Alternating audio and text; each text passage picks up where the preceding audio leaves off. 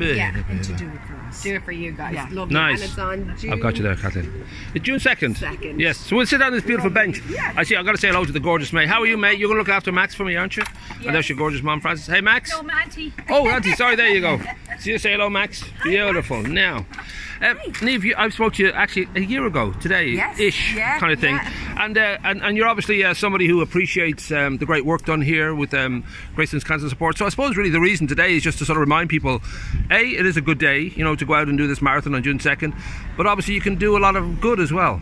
At the same time, you can help people by uh, getting sponsors. Well, yeah, absolutely. So June the second, the VHI Women's Mini Marathon, and um, you can do it for uh, raising money for whatever um, uh, sponsor that you want. Now we're obviously looking here for Greystones uh, cancer support Because they are the Um, greatest charity really in, in the world. when you think, I've looked at the full list. I've looked at the full list, and they are pretty much They're the greatest. miles above the rest. Oh, yeah. man. So, so obviously, good. the help that they do Yeah. for um, all the community is second to none, as Right. we all know.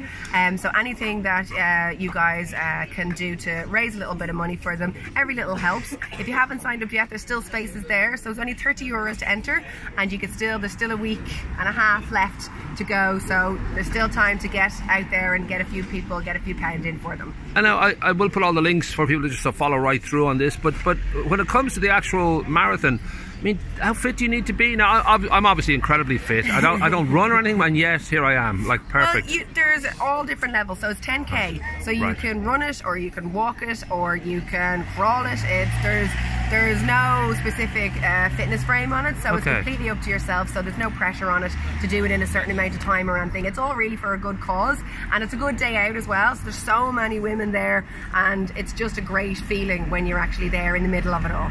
Now, no, you're you're part of Nicofit, so you're you're fairly fit, even though you were coughing and wheezing going up the stairs there Yes. earlier. I wasn't. I'm sure it's just early morning and all that, and maybe nerves over you know the, the election and stuff.